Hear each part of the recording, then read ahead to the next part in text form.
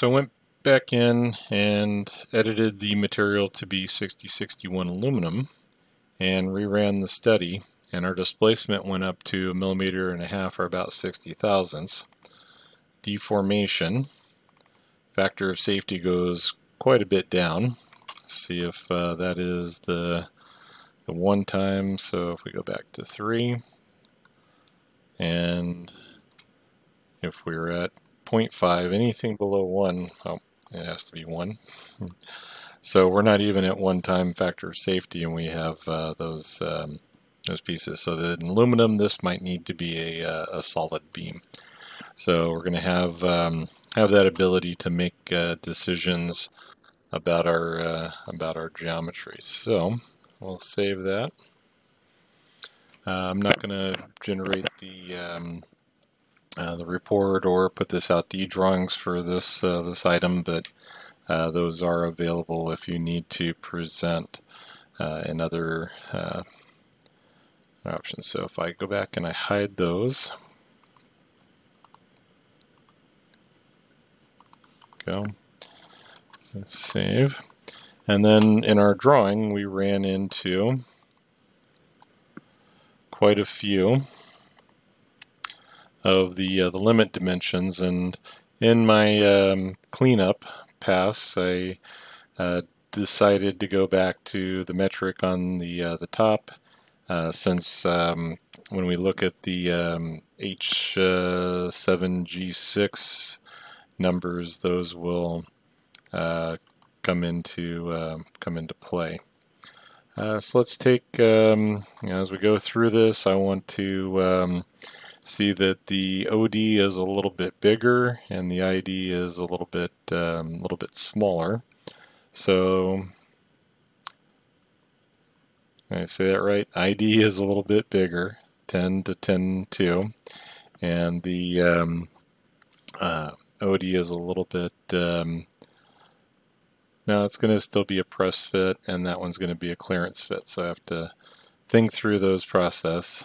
And let's see, we're at um, three decimal places on the millimeters. And that one did not um, did not update. So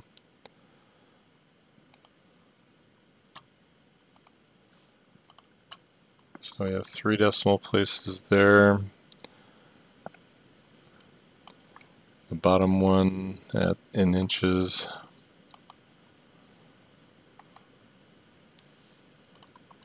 That is not updating. Hmm, wonder what um, what happened with it.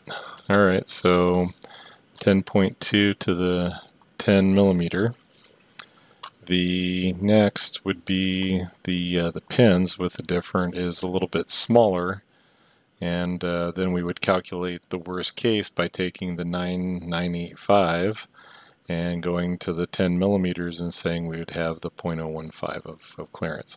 So where those numbers come from, if we go to um, the machinery's handbook, or this is the um, Marks' standard handbook for mechanical engineers, and we look for the descriptions, it gives us a reference to the ANSI or the ASME B 4.1 and gives us some basic definitions. The allowance being a minimum clearance for positive, maximum interference for negative, and we do have some tools to calculate clearances and interferences. Uh, tolerance is the total permissible variation, and the limits of size is what we've been applying, maximum mins. Uh, the clearance fit limits uh, that a clearance always results when the parts are assembled. And then an interference fit, we want it to have a, uh, a press or a um, an interference fit. Transition can go either way. That um, we either have a clearance or interference on the um, the assembly, and the basic size is where we're starting from. So in the case of our uh, the OD of our bushing, the 16 millimeters. Uh, unilateral tolerance in case variation is permitted in one direction. So the fits are running and sliding fits. I don't know how well the uh, the bookmark uh, highlight is uh, going to show up, but Uh, each each one then has a class that when we go to the chart, we're going to be able to uh, define what those um, uh, close running, precision running, free running, um, basically that it's able to move the locational um, and let's see where did that uh, that jump over to? Um, so uh, locational freely assembled or disassembled uh, again has several subclasses okay there it went and then the uh, the transition fits uh, application where accuracy of location is important uh, but a small amount of clearance or interference is permissible uh, locational is um, uh, with the uh, the rigidity, and then the force or the the shrink fits all the way up to we're just going to have to put a lot of load on it to to make it work. So in the the tolerance, when you're looking at the inch series, uh, pretty much you're putting the three decimals on this, and it's based on the range of the uh, the shaft that you're um, dealing with. Let's see limits, and so we'll go through the uh, the groups, and then uh, depending on, I kind of look at it as if um, I'm going to have a purchase part, I'm going to make it the uh, the higher priority. So if I'm buying shaft, uh, the 10 millimeter shaft, and it comes in with its own tolerance, then I'm going to uh, make bushings on that. If I'm buying the bushings and the shaft, then I'm kind of at the uh, tolerance zones of the vendor that is providing those. So we can set a um, uh, the, the hole basis system of fits where the minimum hole size is basic, and then the shaft basis is um, is where the uh, the shaft size is basic, and then the fundal, fundamental deviation is um, let's see, capital letters refer to the hole and lowercase letters to the uh, to the shaft on the shaft basis, and um, and then the uh, the fundal uh, hole basis system is H. Let's see if I read that right. And then the um, shaft basis is the lowercase uh, h. So we go through and then we look at the descriptions when I see these, I pretty much have to go to the chart and uh, identify what I'm looking at, a sliding fit. So we were talking about the H7G6 callout, and uh, that was the uh, the hole basis, and the G7H6 then would um, be the sliding fit if it was the shaft basis. So when we come down to the charts, we're going to look at all of uh, all of our geometry. So the basic size we go to 16 millimeter.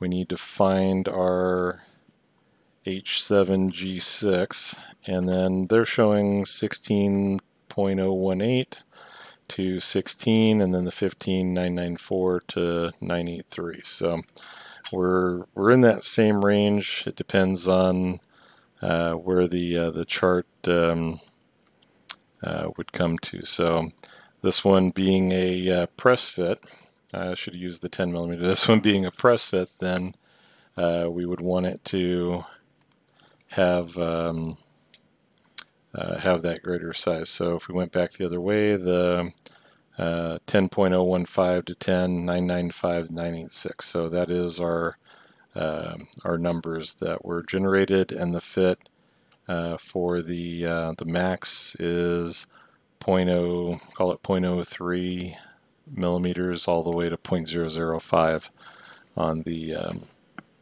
on the stack up. So when we go through the uh, the stack ups, the uh, the real issue here becomes uh, unless I'm in a company that has its own uh, Swiss uh, screw machines that can make uh, 16 millimeter bushings and it can make them really fast, I'm not going to be able to meet the um, the production and the cost for something like a um, a bearing or bushing or even the, the shaft material at that point. Buying it in length and cutting it off is one thing, and that's a conversation with the manufacturing engineer, the mechanical engineer making decisions on stock sizes and the, um, the items that we would need to uh, perform this, um, this function. So if we needed a custom size, then uh, we could certainly have it made, but if we can buy something off the shelf, it's always going to be cheaper. So uh, shaft diameter will be 10 millimeters. And so for the um, uh, ID, they're showing uh, 16 millimeter with a um, shaft diameter of 10. And let's make sure I'm reading this right. For the housing ID, well, always go in and double check. So 16.03, 10 millimeters, and uh, 10 millimeters on length. Well, our housing is uh, 18 millimeters, so we could possibly stack up two of those. Wouldn't really want to, but um, it is uh, it is doable. Or we could pick a uh, a different um, uh, bushing to and shaft combination that would give us uh, that desired result. So if we come down to this product detail, we go up to 16, and that would be a little over one and a half the, the diameter of the shaft. So it would have uh, more uh, more load or, or better uh, loading on that one and we're at 490 pounds versus 310 pounds. So I don't think weight's the issue here so much as we're still maxed out at 120. So an oil embedded sleeve bearing, uh, as it starts and the shaft starts to uh, to turn and create friction, it's going to pull some of that oil uh, that is um, in the um, in the um, the bronze out and create a, a lubrication sheen. So if we went up to a 20 millimeter, then we would have a little bit sticking out. I wouldn't really want to cut these down, so somewhere between that 16 and 20 millimeter, uh, we could make the uh, the choice of how we're going to press those in, or leave a little clearance in our 18 millimeter uh, width. So, uh, price difference from 248 to 274, and this is just going from a catalog. If we went uh, to a manufacturer or a higher volume, then certainly those uh, those prices could um, could come down. Uh, higher RPM than 120, then we're going to go over to uh, a permanently lubricated ball bearing, and we're going to have to decide: do we want the open face? And actually, let's see if that's uh, showing up over here. Not sure how many I clicked. So we have uh, plenty of choices here. Uh, also, the, um, the, the bushing uh, side, uh, we had the um, the possibility of the flange if it had uh, like an end end thrust um, as well as the uh, the radial uh, loading. So the ball bearings can be um, open or sealed, and then the the precision, light duty. We got quite a few if we were uh, taking on um, the uh, the load in the radial, we would want to look at a, uh, a thrust bearing. So really, all of the uh, the different um, uh, types of that we would be that we could choose from and go through that process. So when we um, pick these, we're still looking for the 10 millimeter shaft diameter and width of 8 millimeters. So we'd have to decide do we want to put two of those in line or have some other method of supporting it. The other thing that we haven't discussed is uh, how we're going to uh, to drive this on our design for manufacture is somewhere we have to be able to transmit power into the system and be able to create um, uh, the movement that is going to translate from rotational to more of an arc move um, you know, closer to uh, to linear movement.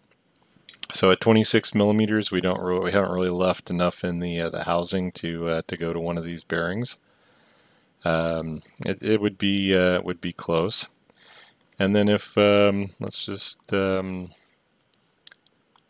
go back and we'll search uh, for a, um, oops, if I can spell, I'm looking for the NEMA, probably the NEMA 23, maybe a, uh, let's just look at the NEMA motors. We don't really need to control position. So we'd have to decide if we want a DC motor, um, the uh, an AC motor, speed controls, uh, those types of uh, things. So if I was looking at a speed control, and what would the uh, the shaft diameter be? So let's see, half inch. So we're already uh, bigger than the uh, the geometry that we picked. Um, stepper motor, and uh, if we needed to look at continuous operating torque in inch ounces, well, now we're back to doing the analysis on how much it's going to take to turn, what's the load on the other end.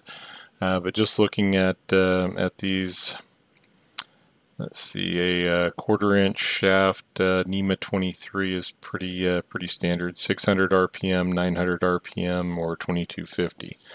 Uh, so we're quite a bit of ways from the uh, the 100 and that's going to drive again some of our decision making so we need to know the power requirement. Uh, how are we going to adjust this from an AC to a DC power supply? And then uh, be able to mount this so let's just say that we're going to um, speed control this uh, continuing operating torque at 17 inch ounces and uh, the drivers and controllers.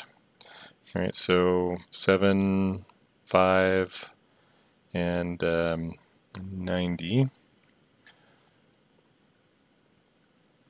Then we're, you know, we're about $1,200 to uh, just kind of put this kit together. And if I was to uh, to download this, we could uh, bring this, and then uh, we notice the uh, the SolidWorks add-in that um, uh, will um, bring this uh, model directly into to SolidWorks. So I haven't looked into that just yet, but we'll um, we'll let that download, and then as we go through the process, we'll be able to uh, make some uh, some more and better decisions on the design.